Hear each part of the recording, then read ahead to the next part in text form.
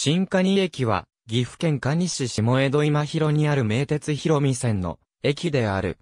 駅番号は HM06。名鉄広見線の線名は、蟹郡蟹町の母体の一つである旧、広見町に由来し、蟹市施行前の旧蟹町の時代までは、当駅は新広見駅と名乗っていた。当駅は、新多治見から三竹を結んだ、東能鉄道によって、広見駅として開設された。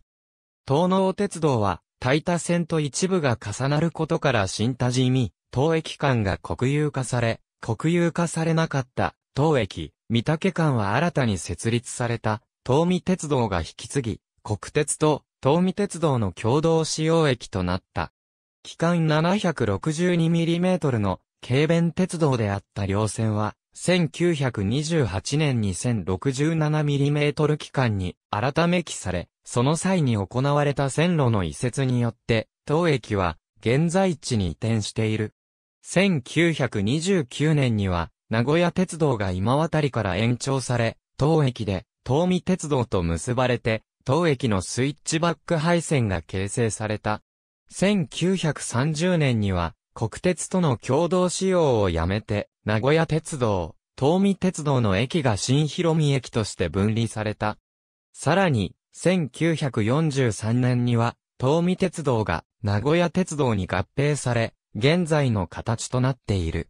東端式ホーム2面3線を有する地上駅。スイッチバック配線となっており、犬山方面行き、三竹方面行きの列車は、同じ方向に発車する。駅舎は1994年5月に建設された、鉄骨2階建ての建物である。くし形ホームの根元部分にあり、改札口は、その一箇所のみである。自動券売機と自動改札機を有する。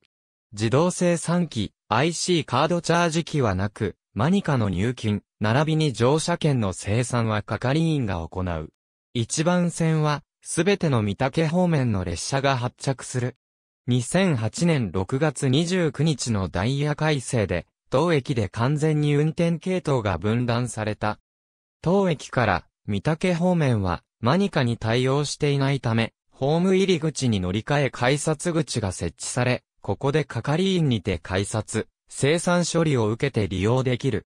2008年の系統分割以降、犬山方面の列車は、三竹方面の列車を死傷しない、3番線から発車することが多くなっている。犬山方面の列車ダイヤはおおむね以下の通り。三竹方面は、平日朝ラッシュ時間帯を除き、ほぼ終日1時間に2本の三竹行きが発車している。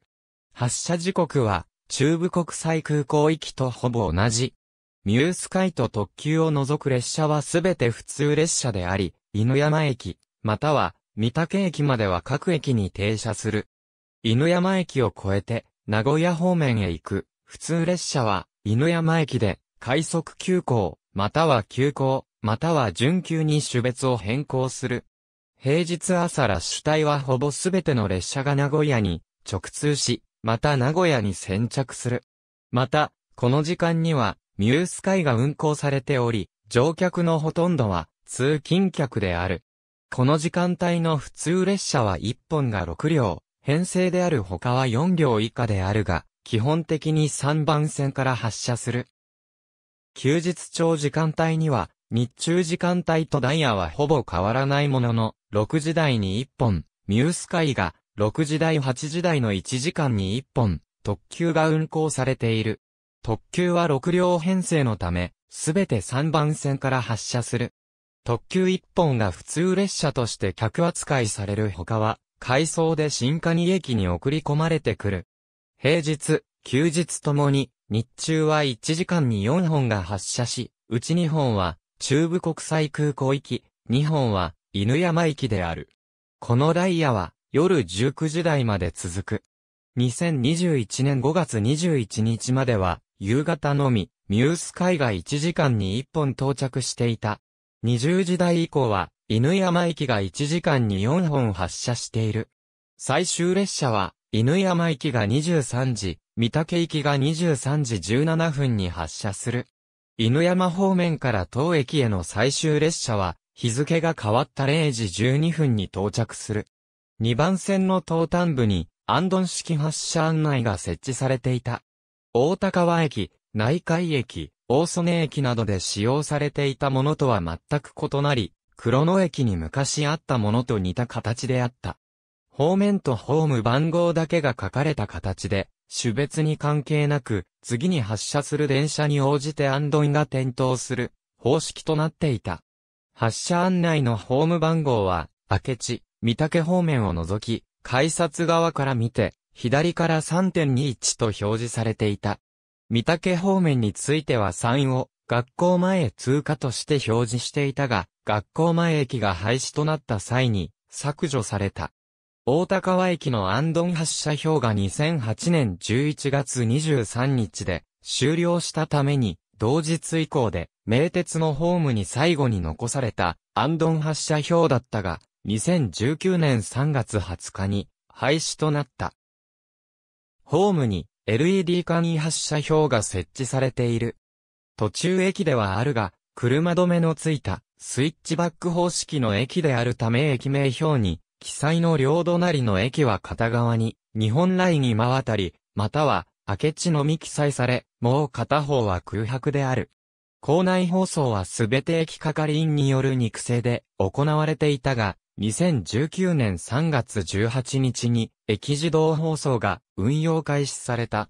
以前は、新カニ駅構内軽食売店が改札外の駅舎内にあり、きしめんなどの軽食、コーヒー、種類などを提供していたが、2021年5月12日をもって閉店した。また、蒸気売店が設置していた駅前と改札口付近の飲料の自動販売機も同日をもって撤去された。2013年度時点では、広見線の駅では、犬山駅、西蟹駅に次いで3番目に多かったが、西蟹駅の利用者減少に伴い、2015年度以降は、西蟹駅を抜いて2番目となっている。駅前広場を共有する蟹駅と新蟹駅蟹駅、駅周辺も参照大型商業施設や観光庁、さらに主要のコンビニエンスストアなども比較的駅から遠い場所にあり、徒歩で10分程度はかかる。名鉄広見線の名に残っている当駅の旧称、広見は現在も蟹市内の地名として存在しており、蟹市役所の所在地は、蟹市広見一丁目となっているが、当駅からは少々離れた場所である。かつて、犬山駅方面明智駅、三宅駅方面を直通していた列車は、この駅で進行方向が逆となっていた。直通列車は4両対応の2番線で、スイッチバックしていた。新広見駅に関するカテゴリー。ありがとうございます。